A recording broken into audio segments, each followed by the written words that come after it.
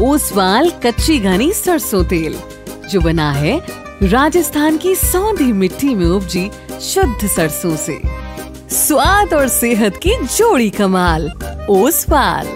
हर रिश्ते का रखे ख्याल। नमस्कार, आप देख रहे हैं भारत टाइम्स न्यूज़ और मैं हूँ आपके साथ छवि।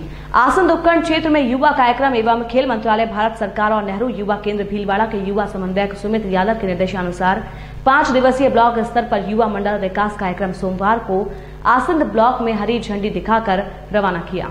इसके अंतर्गत दो दो युवाओं की पाँच टीमों के द्वारा 50 गाँवों में जाकर संगठन की वार्षिक कार्य योजना के बारे में जागरूकता एवं युवा मंडल की कार्यकारिणी परिवर्तन का कार्य किया जाएगा।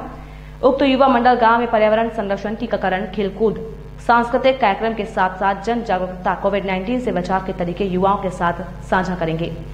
ब्लॉक कोऑर्डिनेटर मुकेश कुमार जाट और और ईरान संस्थान अध्यक्ष ने बताया कि आसंद बदनौर की विभिन्न ग्राम पंचायतों में नई कार्यकारिणी गठित करके नए युवा मंडल का निर्माण और निष्क्रिय युवा मंडल की बैठक लेकर नेहरू युवा केंद्र द्वारा आयोजित संबंधित गतिविधियों की जानकारी दी जाएगी।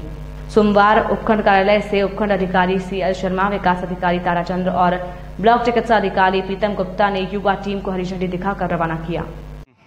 आज आसीन स्थित उपखंड कार्यालय पर नेहरू युवा केंद्र भिलवाड़ा युवा कार्यक्रम खेल मंत्रालय, भारत सरकार के तत्वाधान में जिला युवा समन्वयक सुमित कुमार यादव के निर्देशानुसार युवा मंडल विकास कार्यक्रम को एसडीएम अधिकारी जी द्वारा हरी झंडी दिखाकर रवाना किया गया।